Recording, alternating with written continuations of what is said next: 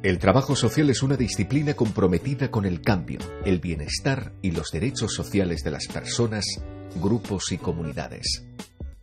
Una profesión joven, pero ya centenaria a nivel internacional.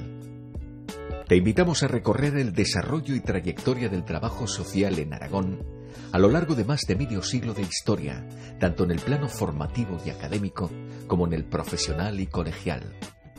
El trabajo social comenzó su andadura oficial en España con la creación de la primera escuela de formación en Barcelona, en 1932.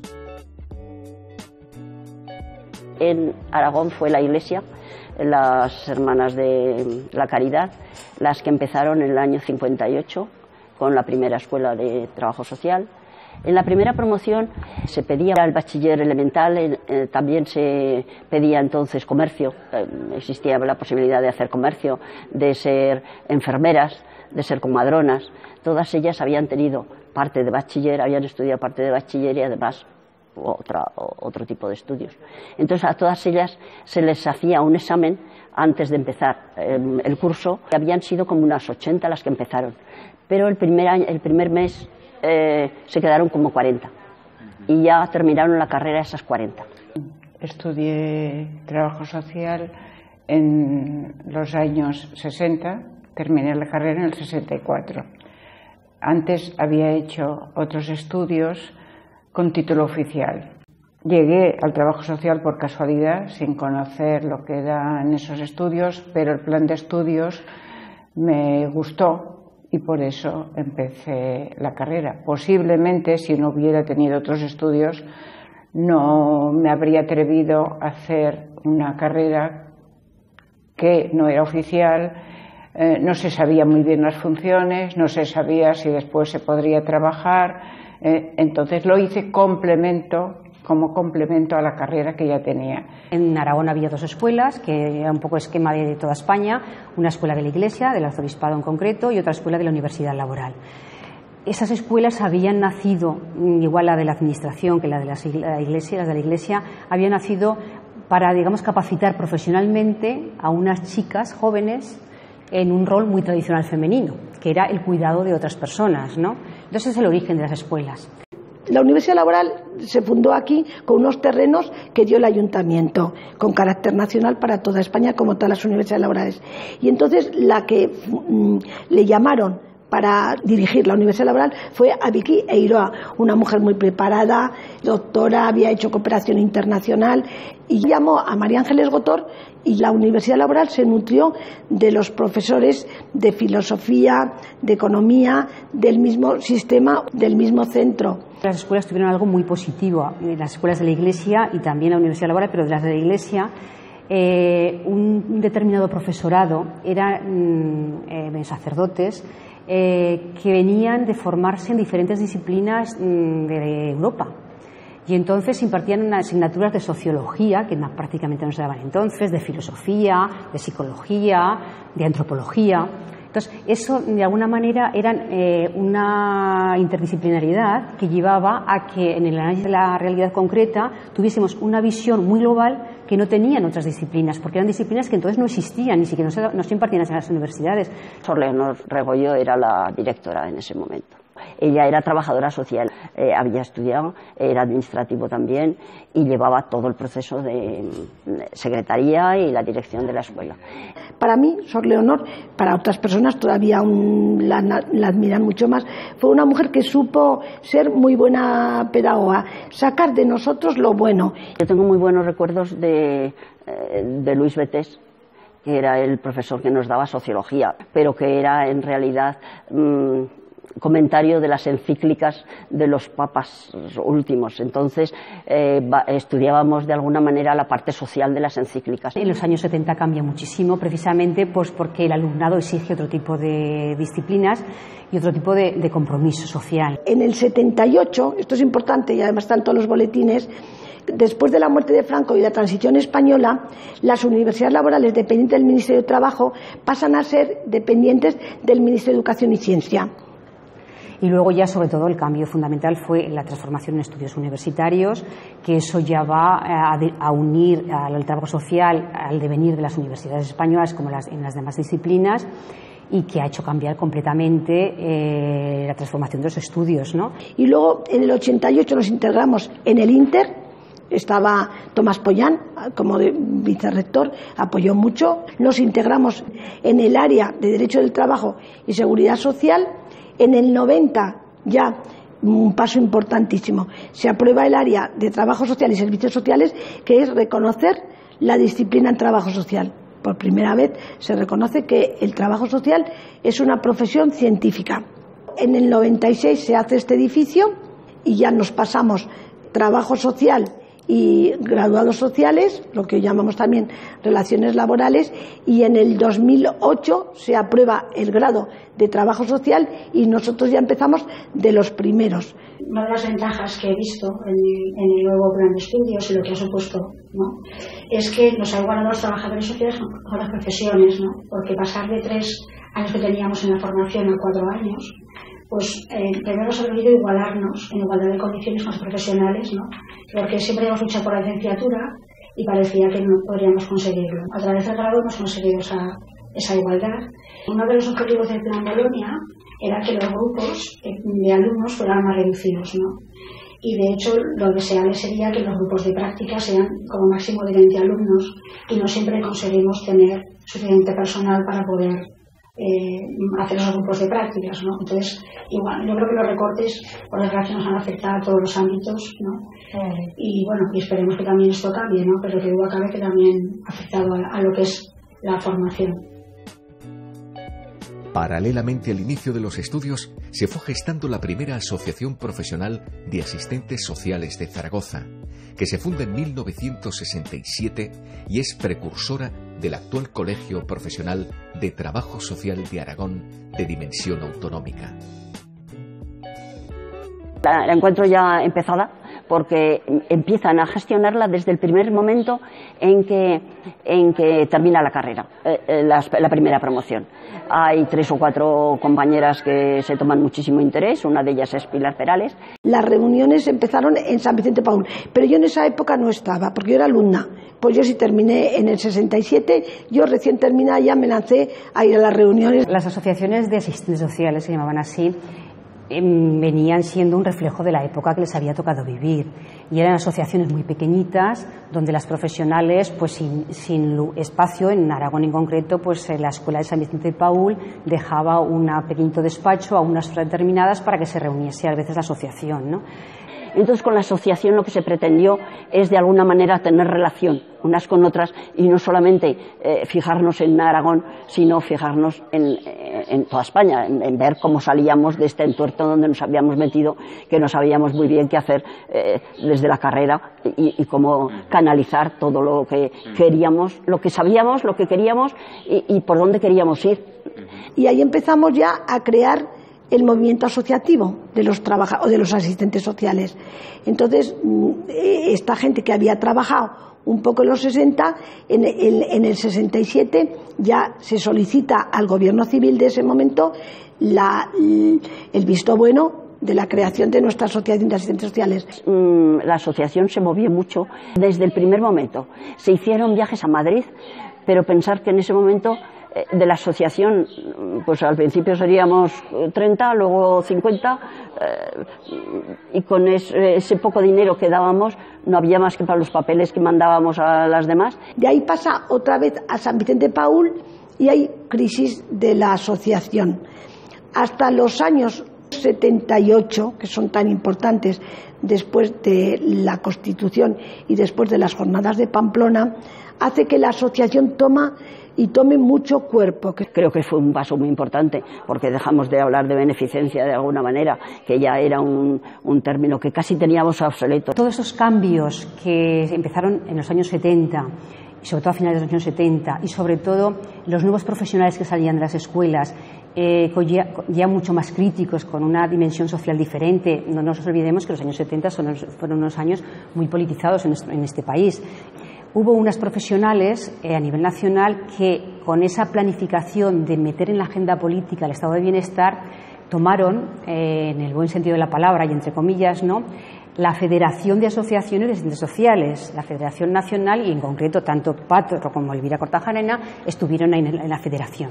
Eso fue un momento importante para todas las asociaciones de todo el Estado español y para todos los profesionales. O sea, fue, fueron un motor y un impulso. La Federación de Asociaciones fue un motor y un impulso para todas las asociaciones provinciales y, bueno, fue un referente para muchos profesionales que estábamos ahí. ¿no? Porque hasta ahora habíamos ido a reuniones de escuelas de la iglesia, de FACE, que se llamaba en ese momento. Y a partir de ahí ya somos muy parte importante activas de FEDAS. No es que no éramos antes, pero sí que a partir de los finales de los 70 la asociación ha ido cada vez más, cada vez más, cada vez más, y ya hasta que se constituye el colegio en el 83. Y entonces ya surgió la transformación de asociación en colegio profesional y yo creo que aquí en Aragón tuvimos claro que lo que queríamos era que esa transición eh, fuese recogiendo a otras compañeras que venían años trabajando, que tenían experiencia, ¿no? Y sí tuvimos mucho interés en que la primera junta del, primer, del nuevo colegio de, profesionales fuese una junta vista de alguna manera por personas que tenían experiencia y que llevaban años trabajando en sus mm, trabajos de diferentes entidades, con las nuevas profesionales que veíamos otros retos, pero que, que no hubiese un, un corte, ¿no? sino que de alguna manera hubiese continuidad. Entonces ya el colegio ya empieza y toma cuerpo a ubicarse en una sede, que eso es importante, con independencia. Y los 90 ya es, bueno, José Manuel, hay que reconocer, y Pilar Maldonado le dan un gran empuje a la, estructura colegial. Se hace la guía de profesionales, se hace una segunda guía en el 93 de profesionales y ya a partir de ahí, ya pues el primer congreso, el segundo congreso. No soy consciente de participar en el primer congreso de Aragón, pero sí en el segundo Congreso de Aragón, eh, eh, como en la mayor parte de los congresos, tanto a nivel autonómico como en los estatales, o en las jornadas en las que hay algún tipo de, mm, iniciativa por abordar nuevas temáticas en, lo que afecta al trabajo social, sí que hubo como algunas novedades. Y yo creo que una de las novedades fundamentales era eh, la nueva realidad que había en Aragón en esos momentos con el hecho migratorio. la década de los 90 fue un punto y aparte con la llegada de personas extranjeras a nuestra comunidad autónoma. Y en ese, en ese congreso, mm, algunas de las pinceladas mm, más potentes eh, que surgieron iban encaminadas, eh, lo mismo que ocurrirán seguramente en el tercer congreso de trabajo social, es el abordaje de las nuevas realidades que, hay. ¿no? En ese momento, el hecho migratorio que era, creo que fue el, uno de, los, de las claves fundamentales porque a todo el mundo nos pilló a pie cambiado. Y luego también eh, lo que va claro que el nuevo colegio profesional tenía que tener una presencia, una presencia en la sociedad, ¿no? Y ser también referente para las instituciones que en ese momento estaban demandando eh, qué hacer y cómo hacer eh, esos servicios sociales, ¿no? Y yo creo que esto se inició en ese primer colegio profesional, pero desde luego el resto de juntas del colegio profesional lo han superado con creces. Nosotros decidimos hacer el congreso en el 2006 Estamos un grupo, mm, la verdad es que con muchas ganas de trabajar.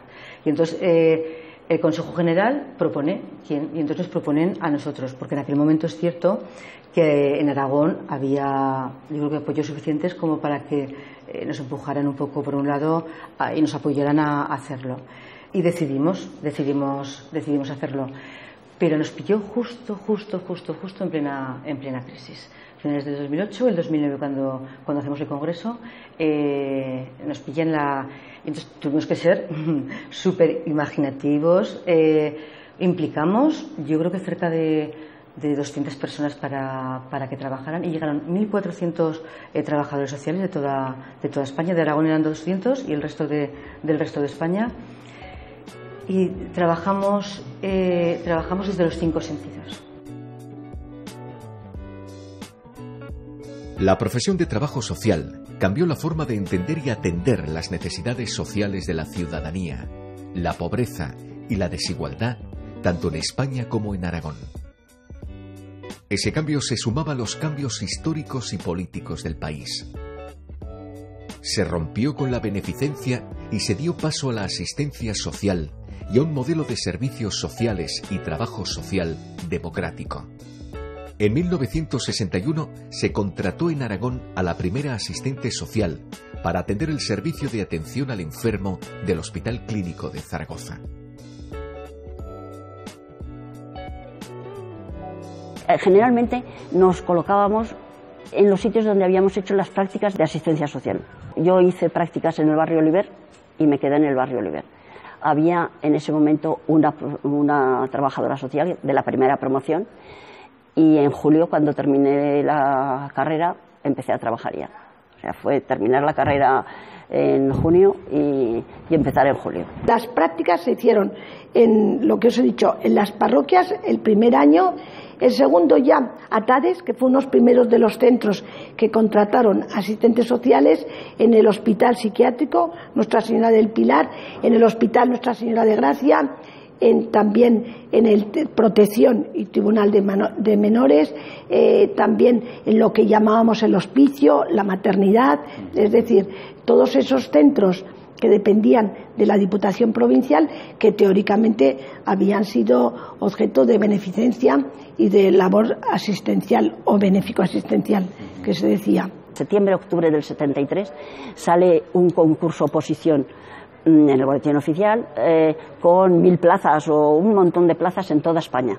De esas plazas había siete en, Zaragoza, una en Huesca y una en Teruel. En Huesca es donde hice oposiciones a un cuerpo que se creó de asistentes sociales mm, Vimos enseguida que había muchas peticiones, que venían, había muchas peticiones de urgencia.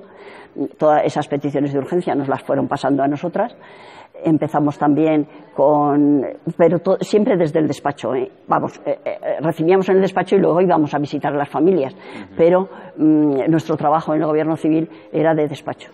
En Zaragoza mm, estuve trabajando dependiendo del Ministerio de Gobernación, que era de donde dependía ese cuerpo de asistentes sociales, y después ya pasamos a la comunidad autónoma al transferir todas las funciones de trabajo social. Del 78 al 87 aproximadamente, que es una década muy importante para los servicios sociales y yo creo que en todo el Estado español. ¿no? Había un contexto sociopolítico recién salidos de una dictadura, eh, con una sociedad que crecía y que empezaba a hacer cambios y con una constitución recién aprobada en el año 78 una constitución que iba a ser como el empuje de muchas eh, transformaciones sociales en muchos ámbitos de la sociedad. Entonces, de esa misma situación participaba de alguna manera los servicios sociales. En este equipo, inicialmente, hicimos una guía de recursos sociales para, a nivel de todo Aragón, conocer lo que había. Después de eso se inició ya eh, lo que podía ser un esbozo del mapa de la acción social que posteriormente pues, se llevó a cabo. Entonces, otra de las circunstancias que se dio es que las primeras elecciones democráticas fueron en el año 79, que fueron las elecciones municipales, con lo cual eh, los ayuntamientos en el año 79 tuvieron unas elecciones municipales con unos nuevos partidos políticos que iban a transformar también todos los ayuntamientos prácticamente de este país. Concretamente, en Zaragoza se creó una delegación de bienestar social la Bienestar Social que estuvo impulsada desde el primer momento por una concejala recién elegida, que es María Rondo, que es otra mujer que luego estudió trabajo social y ha sido trabajadora social en esta ciudad, y que mm, ella venía de trabajar en Francia en unos movimientos, en unas organizaciones eh, no gubernamentales, con un espíritu crítico y con una realidad social muy diferente, y tenía muy claro lo que quería hacer realmente en el Ayuntamiento de Zaragoza con esa experiencia que ella traía. ¿no? Y una de las lo primero que prácticamente que hizo fue ponerse en contacto con los profesionales y convocar un concurso para contratar a siete asistentes sociales, que entonces éramos asistentes sociales, que, para diseñar un poco el proyecto de hacer en el Ayuntamiento de Zaragoza. Ese fue el empuje. En el año 83, creo que fue, eh, se empezaron a, crear esos servicios.